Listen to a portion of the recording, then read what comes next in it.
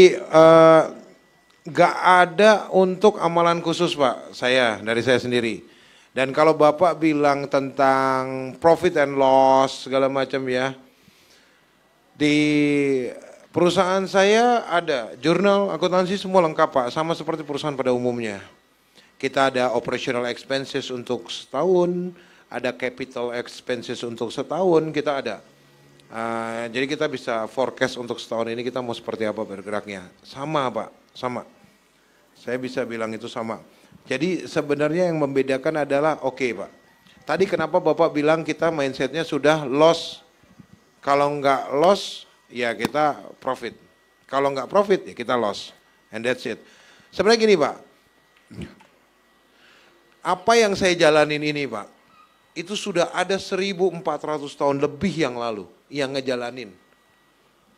Ada dua contoh yang saya ambil selalu, Utsman ibnu Affan dan Abdullah Abdurrahman bin Auf. Ya. Kalau enggak dari Abdurrahman, saya ngambil dari Utsman. Kalau enggak saya ngambil dari Utsman, saya ngambil dari Abdurrahman bin Auf. Ya kan? Yang satu kuat di manajemen, yang satu kuat di marketing. Dan dua-duanya adalah manajemen langit dan marketing langit. Jadi marketing langit bukan gue juga sih sebenarnya. Gue copy paste dari Jadi gini, ini kehidupan standar seorang muslim, Pak. Kita di mana? Di sini. Kita itu selalu di bawah kehidupan standar seorang muslim. Makanya begitu kita melihat satu figur atau satu orang atau tetangga kita atau ayah atau ibu kita, mereka melakukan suatu melakukan satu kehidupan yang sesuai standar seorang muslim. Sesuai standar seorang muslim. Kita akan wow, Padahal saya sering bilang, yang saya lakukan ini bahkan masih belum sampai di standarnya seorang muslim. Mungkin masih di bawahnya itu dan saya masih cari cara untuk saya mencapai ke situ. Saya masih cari cara untuk sampai ke situ. Jadi kalau Bapak cerita profit and loss itu baru ditemukan kemarin Pak. Sistem berniaga kita itu dengan secara yang kapitalis itu baru 1600 abad ke-17an. Saya pakai yang dibangun dulu abad ke-7. Abad ke-7 atau abad pertama Hijriyah. Abad ke-7 Masehi. Saya pakai sistem yang dipakai abad ke-7. Saya mundur 700 tahun ke belakang. Saya mundur jauh dari pertama kali sistem ekonomi ya. Kalau ada sarjana akuntansi boleh koreksi. Kapan akuntansi itu sistemnya dibuat ya. Saya mundur jauh ke belakang Pak dengan cara yang lebih konvensional. Misalnya nih ya, nih saya beli dari beliau 10 juta. Saya akan kasih tahu ke Bapak, saya tulis harga 10 juta, ongkos dari rumah dia ke toko saya uh, pakai si motor hijau itu ya ya, 10 ribu lah, ya kan? Terus jasa repackaging, kardus apa segala macam goceng 15 ribu, oke. Pak ini harganya, harga HPP-nya 10 juta 15 ribu. Sewa tempat, sewa tempat breakdown 12 juta misalnya di breakdown, breakdown, breakdown. Sampai ke satu produk misalnya jatuhnya 5 ribu atau 10 ribu. Saya akan bilang ke Bapak, Pak ini harganya 10 juta 25 ribu.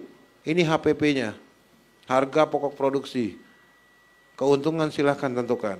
Ini saya lagi mau terapkan di dompet madani memang. Jadi supaya orang belajar bisa langsung. Jadi nanti uh, market share, uh, marketplace, sorry, marketplace-nya itu ya Bapak bisa beli barang, yang Bapak lihat itu HPP-nya. Nanti di bawah, beri keuntungan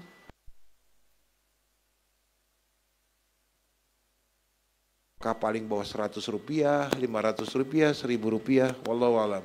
Atau kita kasih opsinya ke pedagang, dia mau ambil paling bawahnya yang mana, terserah. Ini kita lagi lagi full diskusi untuk ngebangun di dompet madani.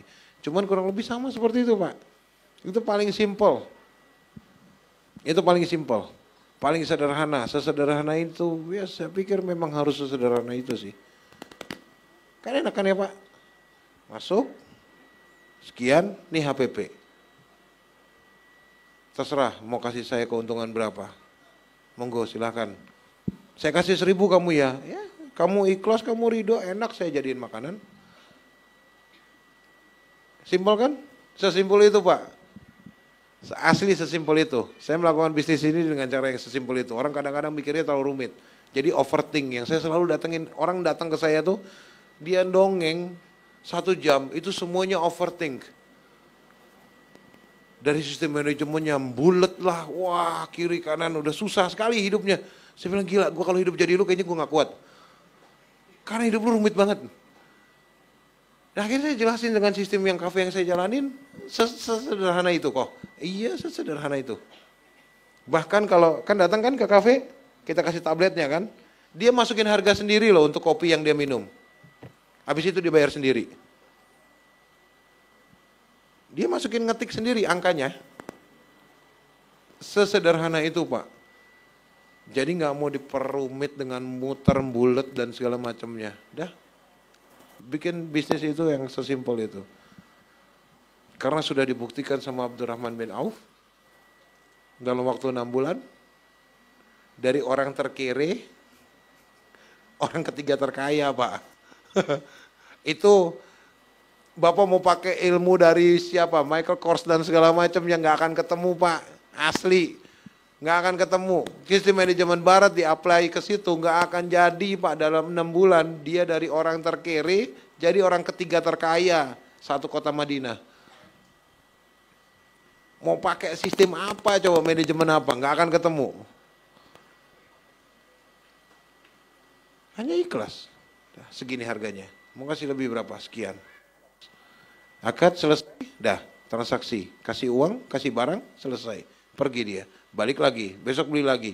Bisa besokannya lebihnya beda? Beda. Tidak ada akad yang mengikat. Hari ini dikasih lebihan, udah ini buat pedagang 10 ribu. Besok dia datang, maaf ya pedagang, gue cuma punya goceng. Kasih goceng. Kayak gitu pak. Ya kalau yang di Bandung itu memang tongkrongannya mahasiswa. Memang mahasiswa. Ketahuan nih tanggal tua nih, ngisinya nyari angka yang di bawah. Tapi kalau tanggal muda, dia bayar 100 ribu itu satu gelas.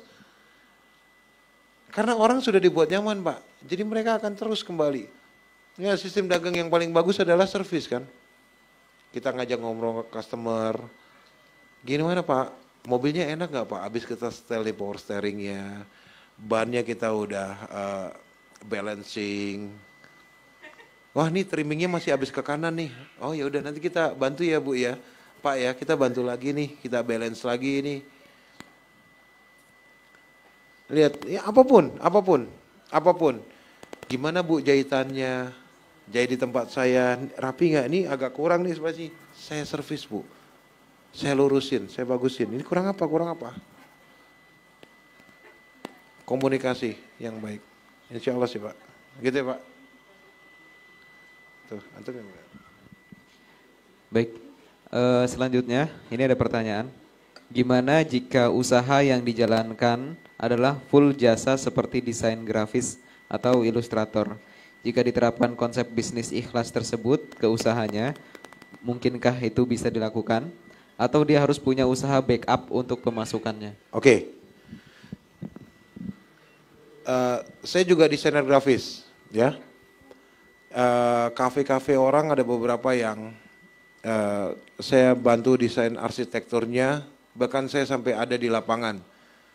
Artinya ikut ya, kayak harus bikin tembok batu yang seperti apa saya ada di situ dan saya ikut membantu ngerjain. Yang tadi saya bilang, mungkin sekitar sejam yang lalu. Ya, ini kepala ini punya Allah. Kepalanya punya Allah, isinya juga punya Allah. Kontennya juga punya Allah ya isinya ada otak, kontennya ada, kita ada operating system kan. Kalau nggak ada OS-nya kan kita gila, ya kan? Ini ada OS-nya yang bikin kita waras. Dan semua yang Allah titipkan di sini ini punyanya Allah. Ingat ya, yang Allah titipkan di sini itu punyanya Allah. Nggak ada satu satu cc pun isi otak kita yang punya kita sendiri. Kok gue kan belajar kok sampai ke Amerika. Emang kalau Allah nggak ngizinin lu bisa ke Amerika? Ini namanya kreativitas kok. Saya butuh minum Pocari Sweat sampai empat kaleng baru ketemu inspirasi.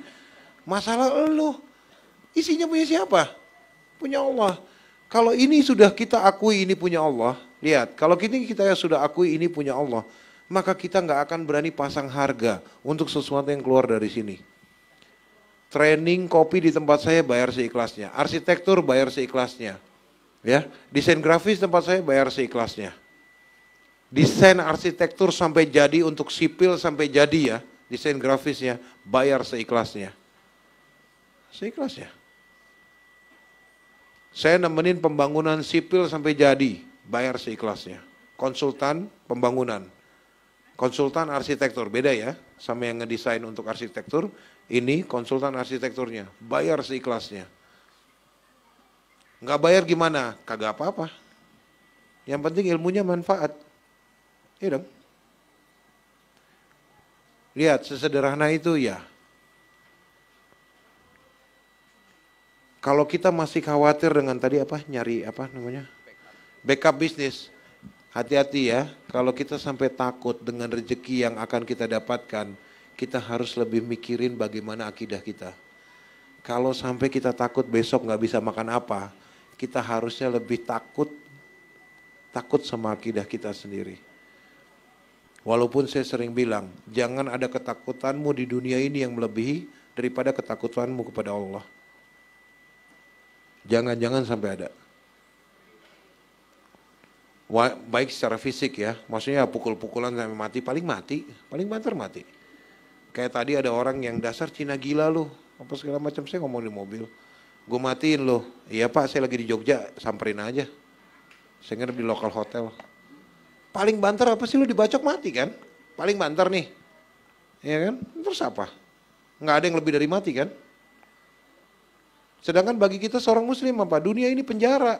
Nah ini akidah nih, ntar materinya geser. Ntar, ntar ya.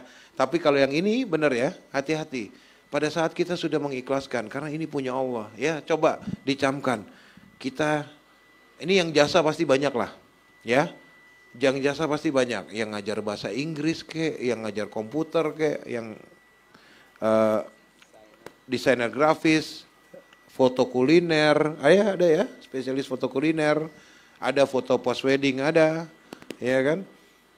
Ini yang semua yang jasa, jasa, jasa, jasa ini kita camkan di dalam hati kita. Kalau Allah nggak izinin, nggak mungkin ini ilmu becokol di atas kepala kita. Dan nggak mungkin bisa kita sampaikan ke orang. Dan jangan sampai, gini loh, ini ya, antum punya motor. Anda pinjam nih, set, tiba-tiba anda rentalin, Pak mau pinjam motor nggak? Sehari 25, Kesel nggak? Kayak motor gua tuh. Lihat, ya. Ini ini analogi sederhana nih tentang motor doang, ya. Bayangin, kalau ya Allah nggak akan kesel sama manusia. Kalau sampai kita yang kufur sama Allah, ya hati-hati, hati-hati, ya hati-hati, ya. Karena sesungguhnya rizkimu dan ujian untuk kalian itu akan dicukupkan sebelum dihabiskan nyawa kalian. Jadi kalau udah cukup rizkinya, udah cukup ujiannya, ditarik nyawanya, tas. Ya, itu kata Imam Syafi'i. Gak akan dimatikan sebelum dicukupkan rizkinya sama ujiannya. Udah. Jadi kita jangan sampai kita khawatir ya. Hati-hati. Kita kalau khawatir dengan makanan yang akan kita makan besok, kita bisa kufur sama Allah. Dan itu lebih berbahaya dari sekedar dari sekedar obrolan yang pertanyaan yang pendek seperti ini. Tapi semoga menjawab. Baik.